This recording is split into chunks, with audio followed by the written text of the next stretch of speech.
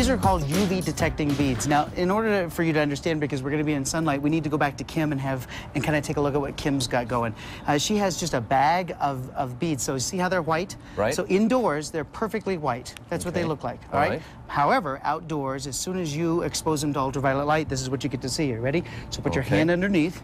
Ready? So I feel This like I'm, a I'm of a magic show. Yeah. So ready? Three, two, one. And now Yeah. watch what happens. You Truly amazing. that? Amazing. Oh, that's amazing. Isn't that amazing? So as soon as they The hit minute, ultraviolet oh, the light. instant the sun hits them. So there's a chemical mackerel. or a pigment in each of these little pony beads that changes color when it's affected by Look at that right before light. your eyes as we as Yeah. they get direct Now, I know you want to at see it again, so here we go. You ready? So Okay. I, I, you play with this one, and I'll pull this one out. All Ready? right. Here we go. Three, two, one. There it goes. Wow. just That is amazing? amazing. What are So these they- called again? They're called energy beads or UV beads. What And if you- causes them to? What causes uh, the, the? What is the science a, behind? well, there's a pigment inside that actually the, the chemical bond changes just a little bit to give you that reaction. Wow. So it changes color. I have Now, as say, soon as you go back inside, they go back white again. Do so they do that really? about 50,000 times. Really? So if Now- I cover this up, is it, are Yeah. we inside enough that if yeah, I go ahead. No, there's another one that's here. That's perfect. Okay. Yeah, so Oh, oh, and I just exposed no, it for you No, now we have another one that's exposed. Well, you can imagine now what kids can do with it. Not only are they a fun craft, but now imagine kind of the science angle. I thought that SPF 15 was just fine, In SPF 15, you can see what happened here. I took a little of it right before we started, and a little bit on here, and then just kind of rubbed it into the bag. And while you can see that it helped a little bit, you can tell that it's still, Oh, um, it's still picking Still up a little bit here. quite a bit of color, And yeah. then we went all the way up to the very end there. So take a and pick up the SPF. So this uh, is 45. SPF 45. Yeah, and so right. it doesn't look. And now compared to something that's Yeah. nothing at all, you can tell that we really have started to block it out. So what can a, a student do? They can set up a science fair project uh, to determine which sunblock really is is blocking out the UV. And some of the UV will. Yeah, I mean, you just can't block it out at all. But even look with this. I think this is great. Take a look and you can see how intense these colors are here. Look on the sides. If you can come in close on the sides, they're not nearly as intense. So here we go. I'll tip it down a little bit. See, that's intense. And if you look at here, see, it's not.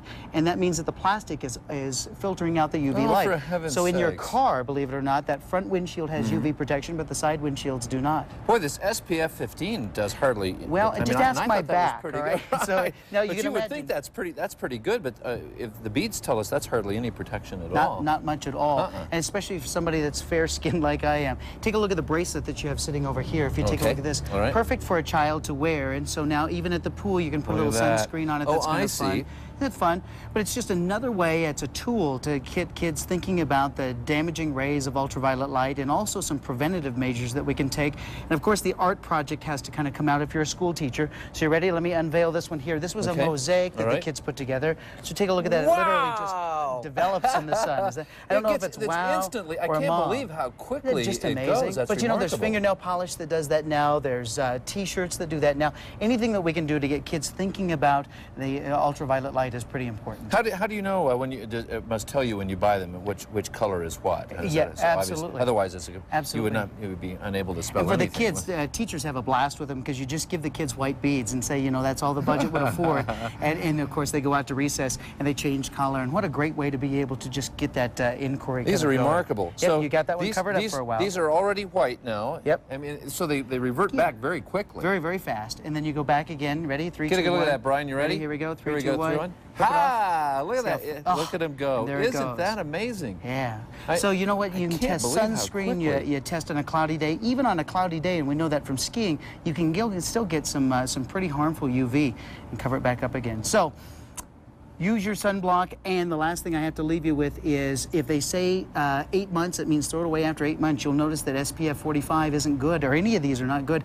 When the manufacturer says throw them away, really, you got to throw them away. Yeah. We have a lot of uh, email about also sunscreens with DEET, and there are a few, but they're not working real, Yeah. real well. If you, for all of you who haven't gotten an answer yet, let me do this one more time, Brian. Are you ready? Are they, have they Yeah. reverted back Yeah, already? they're One, good. two, three. Look at Oh! magic. All of it's on the Almost website. I posted everything and all the experiments that I could think of that we like to try in class with the kids over there as well.